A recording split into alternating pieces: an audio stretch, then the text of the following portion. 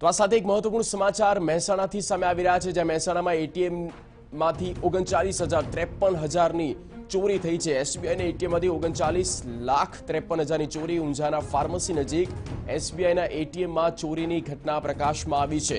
એટીએમના secret પાસવર્ડથી મશીનમાંથી પૈસા પણ કાઢી લેવામાં આવ્યા છે. અજના શખ્સ વિરુદ્ધ આ સમગ્ર ઘટનાક્રમને જોતા ફરિયાદ પણ નોંધાવવામાં આવી છે અને આ ફરિયાદના આધારે તપાસ થશે. એસબીઆઈ બેંકના ચીફ મેનેજરે આ અંગે ફરિયાદ નોંધાવી છે. બારમી જુલાઈના રોજ આ ઘટના બની હતી અને આજે આ આખો જે મામલો છે, આ આખી જે ઘટના છે તે ફરી પ્રકાશમાં આવી છે, સમાચારોમાં આવી છે. ઘટનાના બાર દિવસ થયા બાદ ફરિયાદ નોંધાઈ. આ એક સૂચક છે અને ચોંકાવનારી બાબત છે, બાર દિવસ બાદ ફરિયાદ નોંધાઈ છે. બારમી જુલાઈની આ ઘટના છે અને આજે તેની ફરિયાદ નોંધાઈ છે અને તે જે બેંકના ઉચ્ચ હોદ્દા પર બેઠેલ જે વ્યક્તિ છે તેમના દ્વારા આ ફરિયાદ નોંધાવવામાં આવી છે. મનીષ મિસ્ત્રી સંવાદદાતા ફોલેમ પર.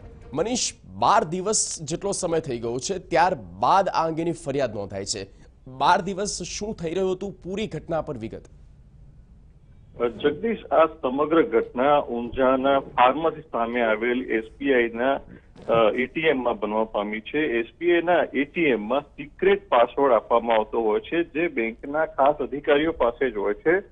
આ અધિકારીઓ કોઈ કામસર બાર દિવસ અગાઉ બહાર ગયા હતા એ દરમિયાન બેંકના જે ચીફ મેનેજર છે, એમને એક ફરિયાદ મળી હતી કે એટીએમમાં પૈસા નથી ઉપડી રહ્યા. ત્યારે ગાંધીનગરથી તેમના અધિકારીનો ફોન આવ્યા બાદ એ એટીએમમાં પૈસાની ચકાસણી માટે ગયા હતા. ત્યારે એટીએમમાં તપાસ કરતા સ્લીપમાં બેલેન્સ હોવાનું જાણવા મળ્યું હતું, પરંતુ એટીએમ મશીન ખોલતા તેમાં એક પણ રૂપિયો હતો નહીં અને સ્લીપના કાઢ્યા પ્રમાણે એટીએમમાં ઓગણચાલીસ લાખ ત્રેપન હજાર સો રૂપિયાનું બેલેન્સ હોવું જોઈતું હતું. ત્યારે માલુમ પડ્યું હતું કે બેંકના આ એટીએમમાંથી ઓગણચાલીસ લાખ ત્રેપન હજારની ઉઠાંતરી થઈ છે. ત્યારે સમગ્ર મામલે હાલ કોઈ અજાણ્યા શખ્સ વિરુદ્ધ ફરિયાદ નોંધાવવામાં આવી છે અને બાર દિવસ દરમિયાન તેમના જે અધિકારીઓ છે, એમની મંજૂરી મેળવી અને ચર્ચા વિચારણા કર્યા બાદ આખરે આ બાર દિવસ બાદ ફરિયાદ નોંધાવવામાં આવી છે. ફરિયાદી તરીકે ઊંઝા જે એસબીઆઈ બેંકના ચીફ મેનેજર દુર્ગાકાંત વાસુદેવ રામદેવ રામ કેવલ ચૌધરી આ અંગે ફરિયાદ નોંધાવી છે. જેના આધારે ઊંઝા પોલીસે